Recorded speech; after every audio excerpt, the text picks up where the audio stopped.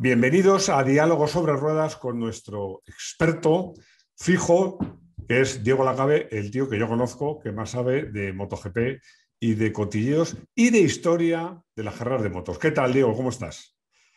¿Qué tal? ¿Qué tal? Gas y cabeza, gas y cabeza para todos. Sí, de historia, de historia porque yo, mm, tú lo sabes, yo, yo me, me autodenomino bulto sospechoso, no periodista, porque en realidad yo estudié geografía e historia, el plan antiguo además de los volcanes, ¿eh? que me acuerdo que dábamos incluso la isla de La Palma con la antigua erupción del Teneguía, fíjate, ¿eh? pues también historia. Y a mí la historia me apasiona, me apasiona contarla, me apasiona estudiarla, me apasiona la gente mayor que te cuenta. Y, y claro, como lo que vamos a contar hoy es una historia en la que yo tenía 18 años, es decir, que estaba empezando estaba no consolidado como aficionado, pero empezando, porque empecé muy joven, con 19 años en la prensa del motor, pues para mí es eh, realmente la llegada, mi llegada al, mundo de la moto de competición, así de claro. Bueno, yo espero que eso de oír a la gente mayor no vaya por mí. Bueno, eh... no, no, no, pero no, no, pero tú como hermano mayor, entre comillas, entonces ya tenías 28 y ya currabas muchísimo bueno, pero vamos a hablar. Hoy. cositas. Yo, yo, yo, creo que ya estabas en, en, ¿o no? Hombre, claro. Pero. ahí, ahí, ahí aquello lo vivisteis. Porque claro, yo te voy a contar la anécdota de la foto de Diego Muñoz, nuestro querido amigo Diego Muñoz. Bueno, la foto de la... ahora hablaremos de eso.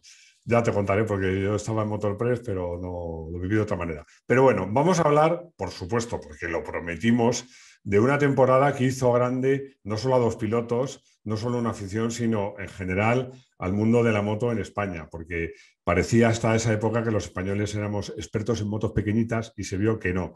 Vamos a hablar de actualidad, porque vamos a hablar del contrato de Peco, vamos a hablar de cómo Acosta empieza a asustar, de los 29 años de Márquez, vamos a hablar de nuestro patrocinador, de Comovi, también contaremos algunas cositas, pero nos vamos a centrar en esa, en esa Además, yo te voy a pedir que nos centremos en ese año mágico, en ese año en el que la, eh, eh, la, afición española se dividió entre los partidarios de Sito, los sitistas y los partidarios de Garriga, por ejemplo, como tú, y los partidarios de Garriga, garriguistas, por ejemplo, como yo. Vamos a incidir en eso, porque yo que entonces era sistémico, era, era un niño de colegio de pago, se decía entonces, ¿te acuerdas? Colegio de pago. Sí. ¿Eh?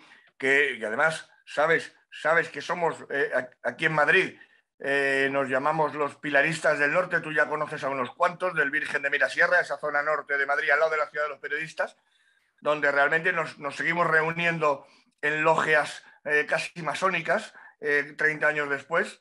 Yo quitaría el casi, quitaría el casi. Y que, y que bueno, que ahí está la familia Oyer entera. ¿Eh? Eh, hemos perdido a uno ahora con el COVID, pero, pero ahí está, por ejemplo, compañeros míos del Virgen, ¿no?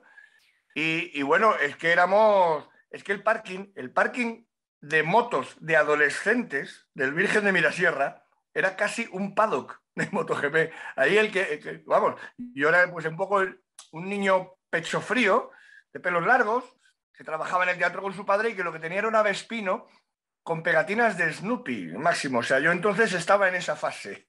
has dicho una cosa que ya, ya te voy a rectificar.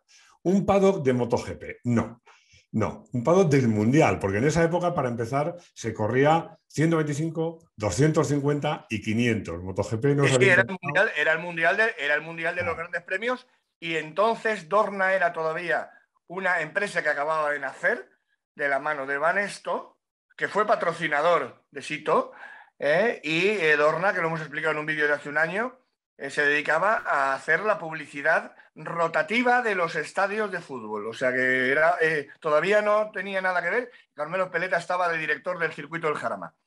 Pero bueno, estamos hablando del año 88.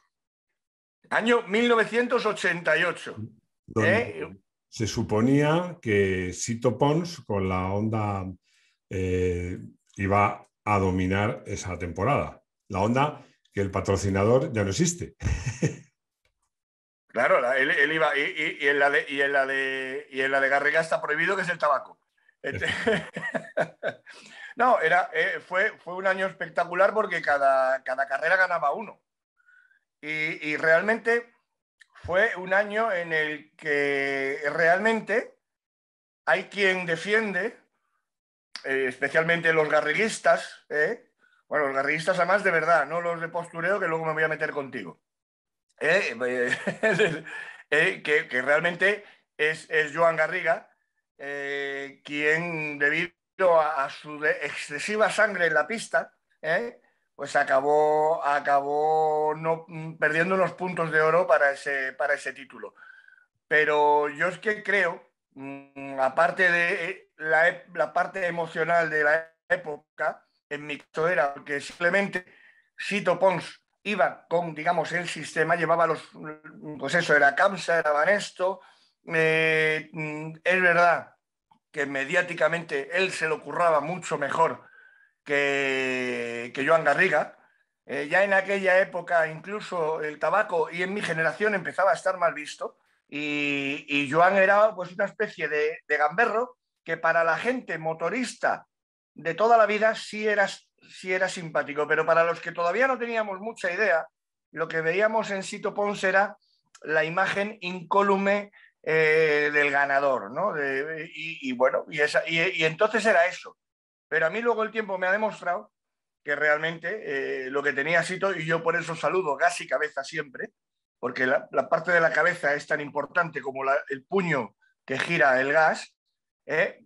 y que Sito era más completo como piloto de, de, coco, de cabeza, y, ahí está. Bueno, ya empezamos, ya empezamos a discrepar, ya empezamos a claro, Claro, qué injusticia, vamos a ver.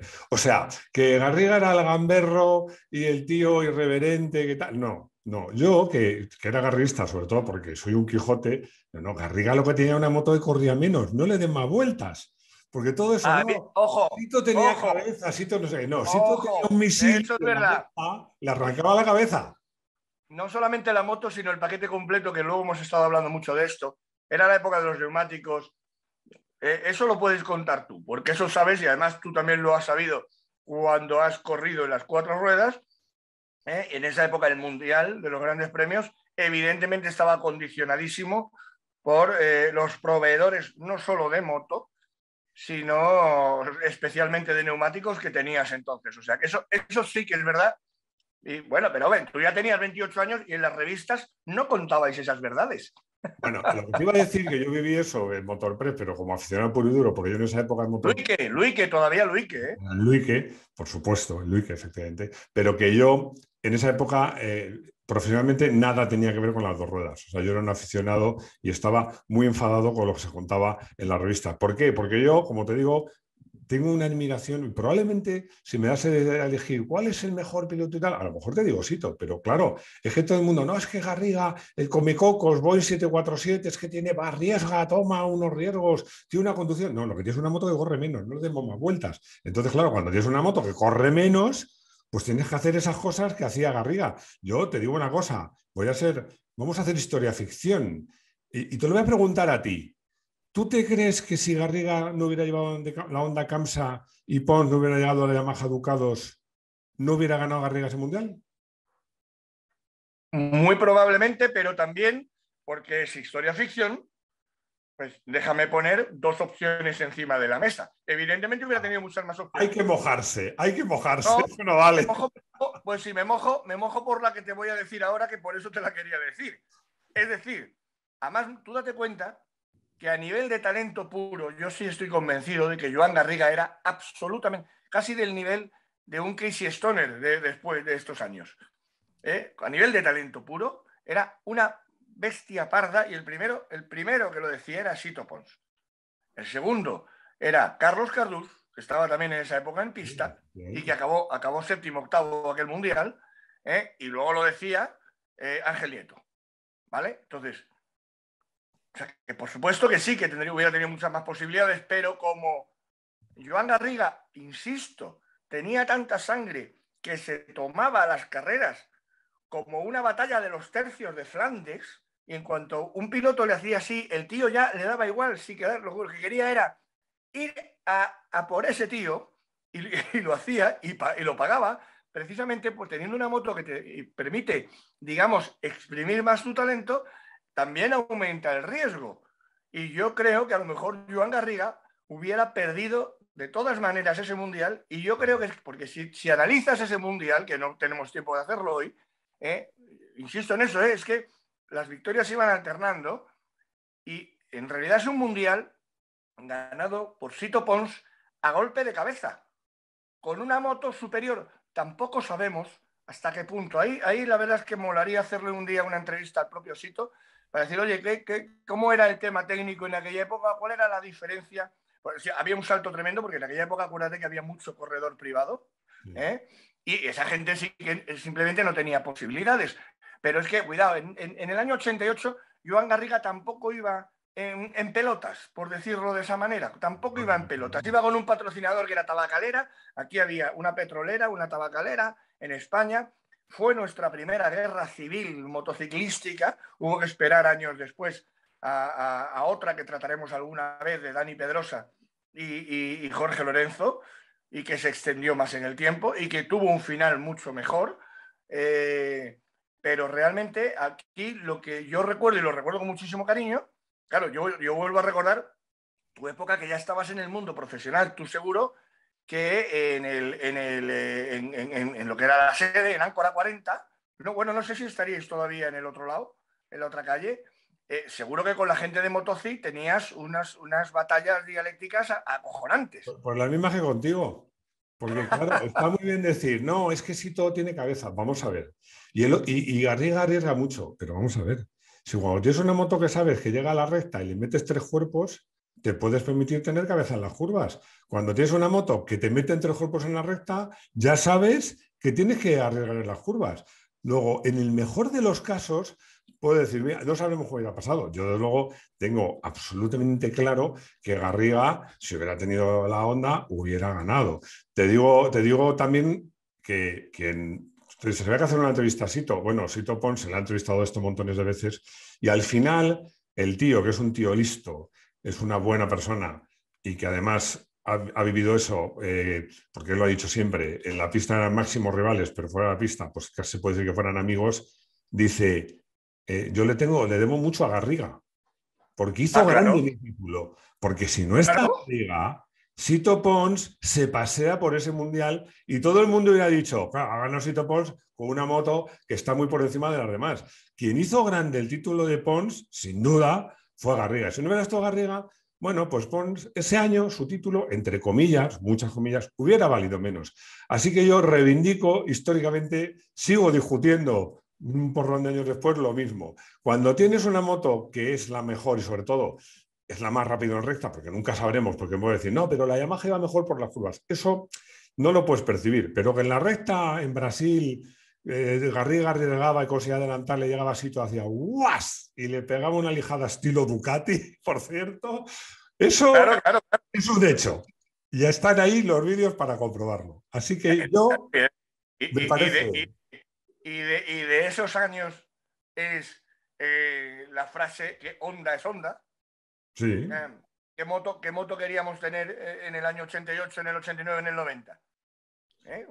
¿Qué, pasó cuando sale la RC30? Que es el, es el F40 las dos ruedas. Una época en que se robaban muchas motos, ¿y sabes por qué? Porque no había Comobi. ah, efectivamente. Porque ahora, si tú le pones Comobi a tu moto, si la mueven, si la mueven, te avisan al teléfono. Y si se la llevan, te dicen dónde está. Anda, que en esos tiempos hubiera sido la leche, algo así. Bueno, que en esos tiempos para empezar no había móvil. Pero bueno, la verdad es que con móvil, que, hemos decidido, porque nos decíais, eh, vamos a contar una cosa distinta de, de Comovi cada, cada, cada, cada, ocasión. A mí hay muchas cosas que me gustan, pero esto de que yo, que, mm, adoro mi moto, que no quiero que me la tiren, que no quiero que me la roben, tener la tranquilidad de que si me mueven la moto, me, avisan por teléfono y si se la llevan a algún sitio me dicen dónde está, macho, eso para mí sí que es un invento. ¿eh? Eso es mejor que, que el ABS. Hombre, eso, eso es, eso es la, la, base de Comobi, pero yo te voy a contar otra y además es que voy a utilizar esta cuña publicitaria para volver a reivindicar mi, mi, argumento. ¿eh? Garriga, con el talentazo que tenía, con Comobi en su moto, hubiese podido analizar telemetría y hubiera dicho, ¿para qué demonios me he peleado yo aquí que he perdido medio segundo? Que, que, de, que de verdad que es que yo tengo esa temporada en la cabeza. Y evidentemente la moto era inferior. O sea, si ya hubiera tenido Comovi cada una de las motos y hubieran podido compartir esa telemetría, pues diría Garriga, oye, es que, es que este tío lleva un avión. Vale, de acuerdo. Pero sobre todo Comovi le hubiera servido a Joan para decir, tío, que vayas a lo que tienes que ir, que no puedes perder medio segundo en tres vueltas porque te estás peleando con un tío que, con el que no te estás jugando el mundial. Porque eso era donde también, mm, digamos, pecaba en lo que es la carrera carrera. Máximo, que los hemos visto en la actualidad, que vamos ahora a darle un poquito de caña, pero ¿qué es eso? Y, y, ahí es donde está el coco, que yo no saludo gas y cabeza porque me lo haya inventado, que me lo inventé en su día. No, no, porque para mí es 50-50. 50-50. Casey Stoner es el tío con el que yo he visto en mi época ya profesional madura, con más talento puro que nadie, ni siquiera Mar Márquez. Pero ¿qué pasa con Mar Márquez? Que es infinitamente más completo de cojo.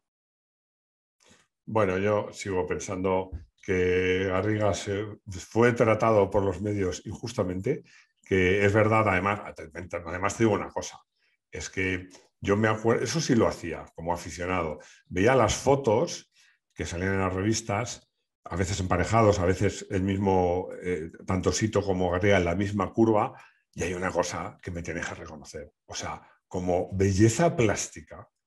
El estilo de era perfecto, trazando por el mismo sitio, muy fino, sin excesos, lo justo, pero es que Garriga, es que viéndole, además a un tío más alto, como más desgarbado, cómo tumbaba, cómo se salía de la moto.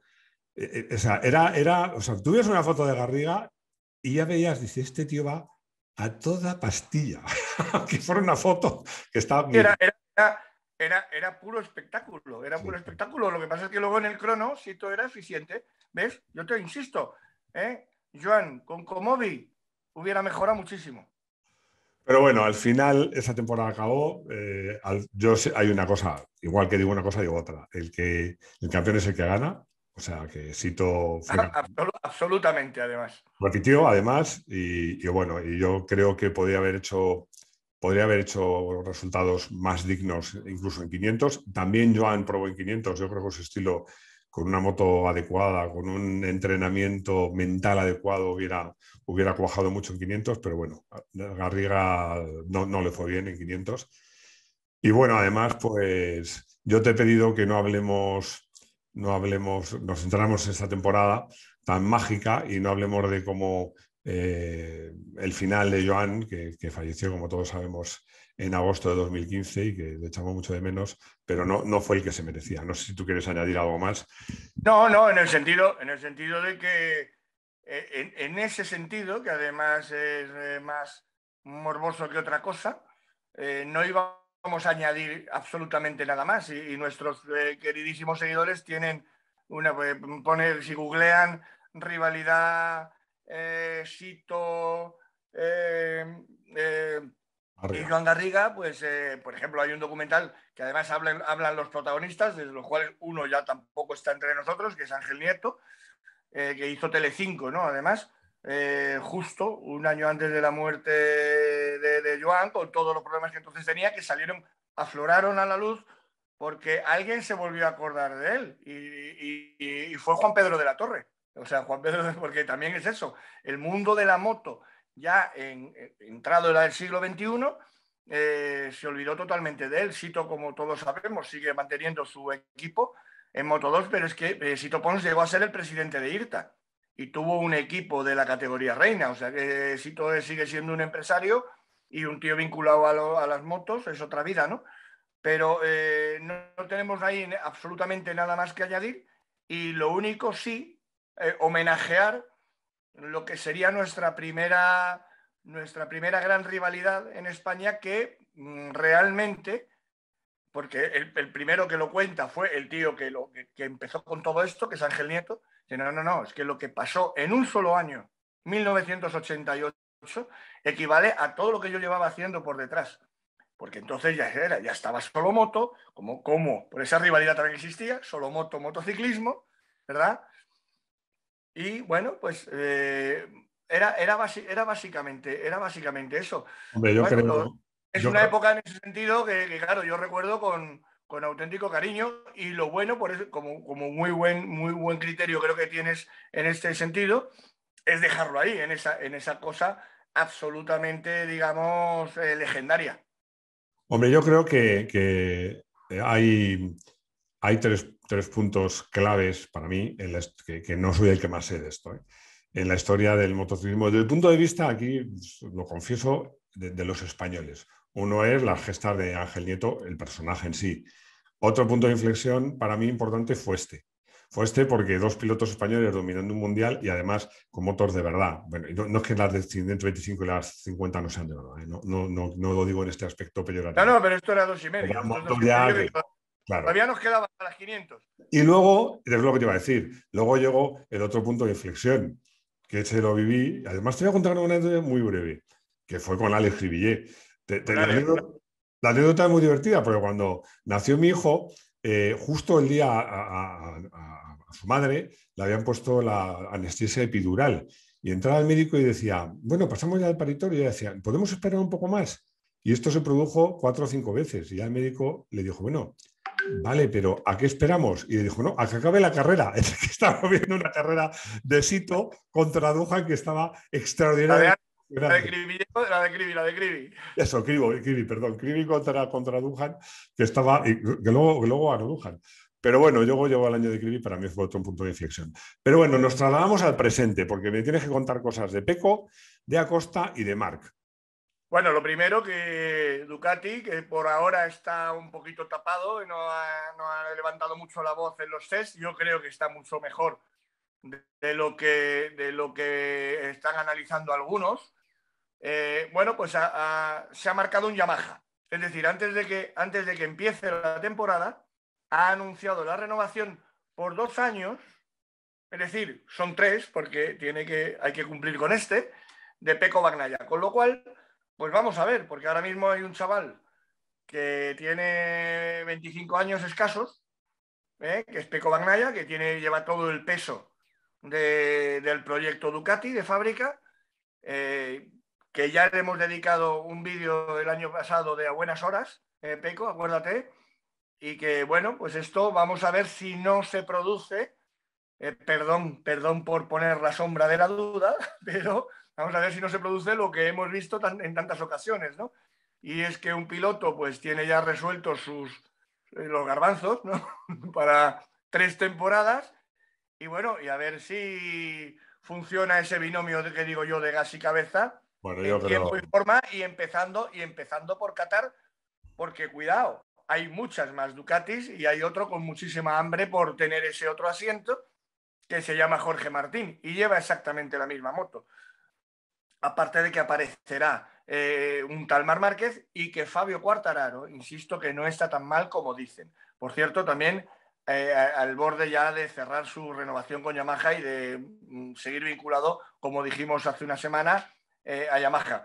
Pero el tema de Peco es lo que te digo yo, fíjate, aquí hay una teoría muy buena, mira, te lo voy a poner encima de la mesa. Hay muchos que estamos ya defendiendo que el mercado, el mercado, desde un punto de vista estrictamente eh, eh, legal de MotoGP, que es una regla que, vendría del fútbol, eh, no, no, se permitiese abrir hasta, por ejemplo, el parón de verano. luego dentro del paddock todo el mundo habla con todo el mundo, de acuerdo, pero que realmente ningún contrato se pudiese anunciar o tuviese validez de renovación. No, pero claro, ¿por qué? Imagínate este año que cumplen tantos contratos máximo realmente veríamos a pilotos muchísimo más motivados, muchísimo más, eh, bueno, no, igual tenemos igualmente una temporada espectacular. O sea, ¿cómo, cómo ves tú eso? Yo, hay mucha gente que, pero gente además, ojo, gente del paddock, ¿eh?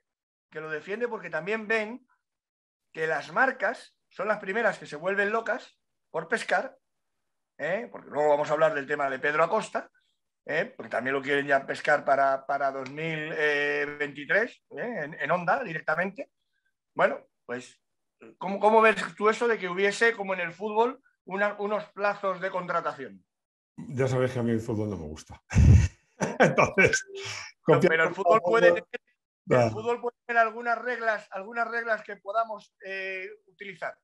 Yo creo que el Mundial tiene que tener sus propias reglas y que poner portas al campo es muy difícil. Y creo que Peco, por mucho que la hayan renovado, no va a aflojar. Esa es mi opinión. Porque yo creo que los pilotos de, pata negra, y desde luego Peco, no sé si será campeón del mundo o no, pero pata negra es, eh, cuando está encima de la moto peleando su rival, no están pensando en su contrato. Así de claro. A lo mejor pues, pues eres muy joven o o tienes unas temporadas difíciles, pues en un momento dado asumes riesgos eh, las últimas carreras, a ver si haces un resultado, pero yo creo que, que, alguien como Peco que empieza esta temporada con la vitola de uno de los favoritos, tener dos años más o dos años menos, pero bueno, esa es mi opinión. yo, aquí voy a... Tengo muchos los pilotos. Aquí a, a, homenajear a nuestros queridos seguidores del hemisferio sur, especialmente argentinos y uruguayos, que son los que utilizan el término, ¿eh? porque Peco, para empezar, Fabio para seguir y mira que tiene el un título a la espalda, Joan para seguir y tiene otro título a la espalda, ¿eh? son, tienen que desembarazarse ¿eh? de eh, la losa de pecho frío que muchas veces son en pista. Lo siento. Miller, que no tiene los resultados de estos tres, ni de lejos, sin embargo, tiene más sangre. Para a lo que le falta es más cabeza y, mejor gas. Pero de verdad, te lo digo, realmente, realmente hay que poner toda la carne en el asador y recuerdo que viene y vuelve el gran caníbal que se llama Mar Márquez, que le vi el otro día en su cumpleaños, en la gala de esto del MotoGP Unlimited, que iremos analizando porque lo estrenan en marzo, donde creo que cuentan más verdades de las que hubieran querido contar los de Dorna, salen muchas cosas, ¿eh? pero, claro, eh, Máximo, que es que, eh, de verdad, y luego hay otro que yo lo veo igual de caníbal, que Jorge Martín. Entonces yo a Peco, tuvo Peco, a Peco que de repente es tu nuevo ídolo, me parece muy bien, pero yo lo veo blandito hasta que me demuestre lo contrario. Yo, que he sido muy crítico con Peco, fue el que dije que buenas horas. Yo, esto que tú dices de, falta de, empuje en un momento dado, me viene muy bien para volver a reivindicar la figura de Garriga. Porque yo creo que cuando un piloto eh, tiene ese comportamiento, mi opinión, mi opinión es que los pilotos por encima de todo son pilotos.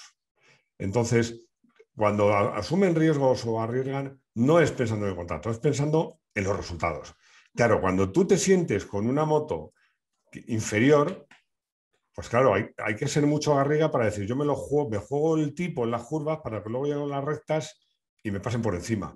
Entonces, eh, Garriga ha habido muy pocos. Yo lo que creo es que un piloto cuando pues dice, mira, me estoy jugando aquí la vida, eh, ¿para, qué? Para que luego la moto va mejor, eh, tiene mejor paso por curva, en la recta me arrasa. Yo creo que eso influye más. pero que Peco lleva, lleva un avión y va a llevar un avión. Sí, sí, sí. sí. Por, el lado técnico, Peco no va a tener. Has hablado también de mí, has hablado de otros. Yo, creo que. Lo que yo te quiero decir es que motos como la de Peco la llevan otros tíos Claro. Con, mucha más sangre y que se tienen que ganar el puesto, que es, que es en este caso Jorge Martín, es lo que te quiero decir. Y que cuando tú ya tienes tres años asegurados, el, actual y dos más, ¿eh? y con 27 años que va a terminar tu contrato, te vas a poder retirar a la, a la vida contemplativa si quieres, tú tienes que hacer un esfuerzo de aquí ¿eh? para luego ponerte a 350, a 360 en el retilíneo ese de Muyelo, donde los mil borrachos que están de resaca, no, siguen borrachos, ¿eh? están gritando en plena carrera al Muyelo, no, si dorme. ¿eh? Es, decir, es, que, es que, coño, es que, y estamos hablando de 21 carreras, ¿eh? este año, máximo, no te olvides. 21, carreras. Por lo tanto, yo dejo eso encima de la mesa de que yo creo que Peco tendrá que dar un salto de calidad, de fortaleza mental. No te digo que no lo consiga, ¿eh? pero que lo tiene, que lo tiene que conseguir, que el, que el año es muy complicado y, y tener esa pax contractual no ayuda para nada. Bueno, Dejémoslo ahí. cerramos, cerramos con Acosta. No me quieres comprar el dramatismo hoy, ¿eh? No, me no, no, no. Yo es que soy de la opinión que un piloto cuando está en la pista no está pensando en su contrato. Esa es mi opinión. Yo, desde luego, no he sido profesional, o alguna vez eh, he hecho una carrera de coches, por supuesto. Que como... Pues mira, pues, pues voy a llevarte a mi dramatismo porque has No, y, no nunca lo he pensado. ¿Sabes quién estuvo pensando en pista en su contrato y no se operó a final de temporada? Jorge Martín. Jorge Martín hizo un final de temporada espectacular y lo hizo cuando tenía que estar parado y operándose. ¿Y por qué no lo hizo? ¿Por qué siguió? Porque estaba pensando en su contrato, en el de 2023 que tiene ya casi firmado. Sí, ¿Eh? pero, Porque ahí se ganó el 50% de ese aspecto. Pero si es que, pero vamos a ver, si en el fondo me está dando la razón. Lo estaba pensando cuando se bajaba de la moto cuando estaba encima de la moto, lo que estaba pensando era quitarse, o sea, un piloto. lo mejor posible. Claro, un piloto lo que está pensando es, mientras tiene uno delante, es pasarle. y cuando ya no tiene nada delante, dejar al, que vaya al segundo lo más lejos posible. Pero bueno, cerramos, uy, cerramos con Acosta. Cuéntanos que, ya bueno, bueno, Acosta, campeón del mundo de Moto 2 ya, vamos, del Deportivo, que está, está ¿no? hoy están acabando, ¿eh? está, eh, mientras estamos en este directo. Vamos a cruzar los dedos y que termine la sesión. Bueno, van a ser 30 pilotos en parrilla, o sea que el tema de eh, la seguridad vía reducir parrillas no está contemplada por ahora. 30 tíos eh, de Moto 2 eh, en parrilla. O sea, tú fíjate la barbaridad ¿eh? que va a ser eso. ¿eh? Pero Acosta tiene un desafío mayor que ganar el Mundial. ¿Sabes cuál es? No, no, no, pero, pero, pero, pero nos lo vas a contar. Acosta consiguió que volviera a ver las carreras de Foto 3 y a ver si consigue que vuelva a ver las carreras de Foto 2. No, no dándole al fast forward, sino viéndola entera y en directo. Y, yo creo que a lo mejor lo consigue.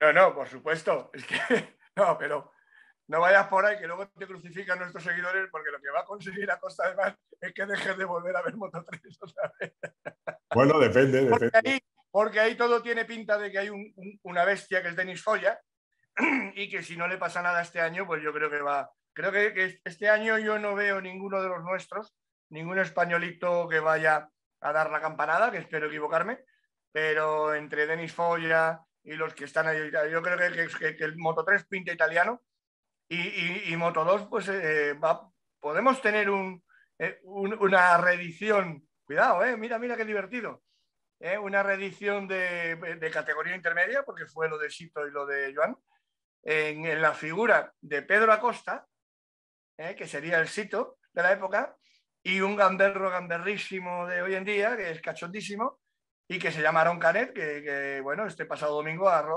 reventado el récord de, de Portimao. Ojo, con los tiempos. Ya son los motores oficiales, ya se han repartido los motores Triumph 750 en cada, en cada paquete de Moto 2, son los motores con los que ya arrancan las motos en Qatar, pero en estos tres días de test en Portimao no está viendo, eh, están tomando los tiempos sin eh, análisis, no, ahí es donde tenían que llevar las motos su comodi, porque si pisan el verde no están quitándoles décimas. Es decir, los pilotos en estos test, desde el punto de vista de eh, la tabla de tiempos se pueden hacer trampas al solitario, como suele decirse. Bueno, lo que pasa bueno, no, no, están, no están en eso, lo que sí te cuento, y Pedro Acosta es el hombre de moda, es el hombre de moda ahora mismo en los despachos. Eh, Repsol está ahora mismo, Repsol Honda Team, equipo de fábrica de Honda, HRC, pero también con el concurso del patrocinador, o sea, Repsol está opinando aquí bastante también, y esto es información. Eh, bueno, hay un debate interno de ir, de ir o no ir eh, a por todas, a por Pedro Acosta ya para 2023, cosa que tendría que hacerse ya. Porque si no, lo va a blindar KTM, que sigue teniendo su opción y su contrato para 2023. ¿Por qué te cuento esto? Porque, claro, si tú metes a Pedro Acosta al lado de Mar Márquez, estás metiendo ya, estás haciendo otro Sito Garriga, o sea, ahí sí que estás haciendo otro Pedrosa Lorenzo, pero de los gordos gordos, y también dentro, dentro de lo que es el sistema y es una cosa que ya lo contamos en otro vídeo, ¿eh? no quieren que los dos mejores de una parrilla vayan con los mismos colores y con la misma moto. Acuérdate de aquella famosa carrera de, de 2009 de Montmelo, en la que estábamos todos emocionados con esa final de carrera entre Valentino y Lorenzo, y alguien muy gordo de Dorna me dijo, esto no vale para nada, porque semejante espectáculo con dos motos que ponen en las dos Fiat ¿eh? y que las dos son Yamaha, esto desde el punto de vista del marketing es un fracaso. Bueno, yo en todo caso, que conste que soy acostista, pero si se puede decir así. Ahora, eh, esta afirmación de los dos mejores pilotos de la parrilla de 2023 en MotoGP sean Acosta y Márquez, me parece muy osado por tu parte. Pero bueno. No, no, esa osadía, es que esa osadía la están teniendo los directivos, porque precisamente ahí vuelvo a lo de las a regular el mercado. Porque si realmente las marcas tuviesen prohibido hablar con los pilotos de contratos de cualquier categoría hasta verano, entre otras cosas serviría para ir viendo qué pasa con Pedro Acosta. Eh, serviría para que hablaran sotoboche, macho, para no seas inocente. También es cierto. Que no van a hablar igual. Lo que pasa es que no nos enteraríamos. Bueno, en cualquier caso, esta temporada promete ser apasionante. Bueno, que estamos ya, el, próximo, el próximo diálogo sobre ruedas, ¿eh? haremos porra porque arranca después al siguiente fin de semana, el primer fin de semana de marzo, estamos en el Gran Premio de Qatar, circuito de los Aires, ¿eh? con las luces del desierto de noche y con toda la fiesta en marcha. Bueno, está claro que este mundo va a ser apasionante, pero que ya se vislumbra un 2023 apasionante. El ah, próximo diálogo sobre ruedas lo dedicaremos a que Diego Lacabe nos haga su porra para luego poderle afear su falta de acierto. Bien, adjudicado. Bueno, y nada, pues ya sabéis que hacemos estos vídeos gracias a nuestro patrocinador que es Comovi, que yo personalmente mm, lo uso y os lo aconsejo. Y sobre todo que, nada, que Diego, muchas gracias por estar con nosotros, por contarnos esas cosas tan, tan, interesantes, por equivocarte con el tema de Sito, pero nadie es perfecto. Y nada, pues nos vemos en una semana. Muy bien. Muchas gracias y casi cabeza para todos. hasta luego.